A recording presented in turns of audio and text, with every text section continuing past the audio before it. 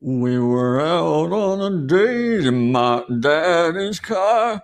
We had driven very far.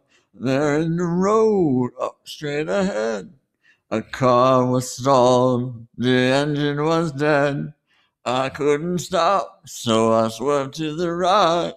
I'll never forget the sound that night. Mm-mm, mm-mm. The screaming tires, the busting glass, the painful scream that I heard last.